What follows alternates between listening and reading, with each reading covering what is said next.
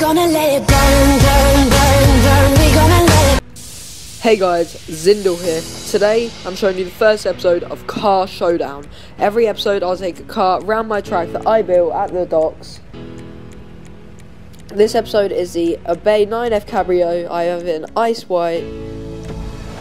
This is the convertible version as I prefer it, but I'll be doing the hardtop version pretty soon. If you want to recommend a car, just comment it below. I built this track, there's a lot of things to test the car on. Okay, let's get into it. Off the line, it's quite good, builds up quite a bit of speed, it bounces around a bit, but that doesn't matter that much. It spins here, unfortunately. The handling could be better on this car, but other than that, on that first bit, it was quite good. It skids around here quite well from turnaround.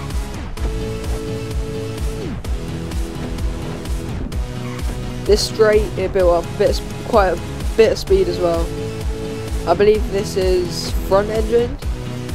I'm not too sure. Comment that. But coming up to the U-turn, again it builds up quite a bit of speed, but still manages to perform a really good U-turn here. Coming up to the home straight, it sets a time of 53.157. That puts it first place on our leaderboards. I hope you guys have enjoyed this episode. Please like, comment, and subscribe.